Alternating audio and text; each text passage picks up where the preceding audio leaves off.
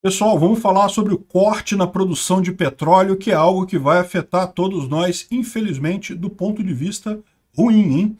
Essa notícia foi sugerida por John27, meu barbeiro e várias outras pessoas. Obrigado ao pessoal que sugeriu a notícia. Obrigado a você que está assistindo o nosso vídeo. Se você gosta do nosso conteúdo, por favor, deixe o seu like, se inscreva aqui no canal, né?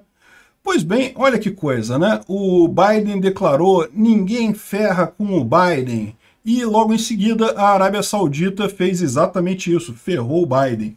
O que, que aconteceu? A Arábia Saudita se juntou com a Rússia, ou atendeu a um pedido da Rússia e de outros países produtores de petróleo, e decidiram cortar a produção de petróleo em 2 bilhões de barris por dia. 2 milhões de barris por dia, né? E aí o petróleo vai ter alta. Então você pode esperar que aquela coisa da redução da gasolina que a gente vinha experimentando aqui, preço caindo, preço caindo, certamente vai parar agora e arrisca-se até ter um pequeno aumento da gasolina esse, nesse último mês aqui da eleição. Né? É, a, aquele negócio, a, a, a redução do ICMS foi feita, valeu muito, realmente reduziu muito o preço dos combustíveis. As outras diminuições que aconteceram no diesel e na gasolina ao longo do tempo aconteceram justamente devido à queda do valor do petróleo. O petróleo vinha caindo de preço justamente porque a, o Biden foi lá na Arábia Saudita, negociou com eles lá e eles haviam aumentado a produção de petróleo. Com isso, o preço do petróleo chegou num valor mais razoável. Né?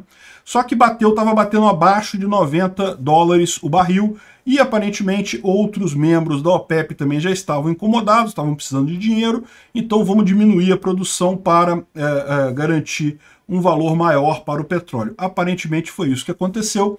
Ferraram com o Biden e, por tabela, com todos nós, né? Porque nós vamos ter que pagar também esse custo mais alto do petróleo na forma de uma gasolina mais cara ou de um diesel mais caro. A notícia que pode-se dizer que não é tão ruim assim para Bolsonaro, por quê?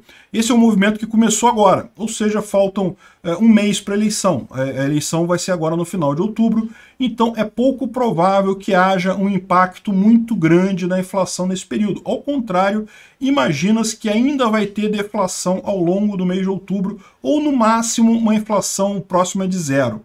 Então, uh, não deve ter impacto nisso antes da, uh, da votação no dia 30 de outubro. Mas pode se preparar, meu amigo. De fato, a gasolina vai voltar a subir logo em seguida. Não vai ser igual na época da Dilma. A Dilma, quando ela cortou a gasolina, ela segurou a gasolina, ela segurou a gasolina no meio de uma alta. Então a Petrobras começou a ter prejuízos enormes. Tinha que comprar gasolina mais cara e vender mais barata no Brasil estava quase quebrando a empresa. Aí quando teve a eleição da Dilma, no dia seguinte a gasolina foi lá para cima. Foi um aumento enorme. Esse aumento que deve ter agora, depois das eleições no Brasil, em algum momento de setembro, ou talvez, é, desculpa, em algum momento de novembro ou dezembro, vai ser certamente algo uh, muito mais leve, vai ser um pequeno aumento devido a esse movimento aqui da Arábia Saudita. Né? Não imagina-se um aumento significativo no final das contas. Então, é uma má notícia isso. Infelizmente, uh, uh, o pessoal da OPEP está mais uma vez sacaneando o resto do mundo. Vamos ver que, vamos esperar que isso daí tenha pelo menos um lado positivo. Qual o lado positivo que pode ter isso daí? No momento que você tem a gasolina encarecendo, você começa a ter incentivos para você explorar outras reservas de gasolina. Eu estou falando principalmente do fracking. A Inglaterra já falou que vai autorizar o fracking, vai retomar as, as iniciativas de fracking por lá. Aqui no Brasil também está mais do que na hora da gente começar a fazer isso. Ao contrário do que dizem, o fracking não é uma coisa destruidora. Se for bem feito, não causa dano algum. Não, não causa dano ao lençol freático, não causa dano a nada. Desde que você faça nos locais seguros, da forma segura. E dá para explorar muito petróleo, dá para tirar muito petróleo do solo. Aqui no Brasil nós temos enormes reservas de fracking. E sabe qual que é a grande vantagem do fracking sobre o petróleo, digamos, tradicional que você tira em poço? O ciclo para você descobrir o petróleo é, é, normal, do jeito que é hoje, e cavar um poço e começar a extrair petróleo, isso leva 10 anos. A Petrobras está hoje é, explorando, tentando achar petróleo que vai começar a ser explorado lá em 2030, né, 2032. Então é um ciclo muito longo, não, não dá para você é, aumentar ou diminuir isso rapidamente. Agora com o fracking dá.